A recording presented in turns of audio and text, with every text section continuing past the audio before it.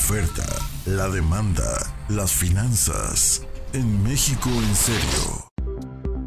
El Banco de México informó que de enero a octubre de 2014 las remesas acumuladas recibidas por el país presentaron un repunte de 7.9% frente al nivel a que llegaron en 2013 en el periodo, los mexicanos residentes en el extranjero enviaron un total de 19.628.5 millones de dólares, cifra que rebasó los 18.311.22 millones del periodo similar, pero del año pasado.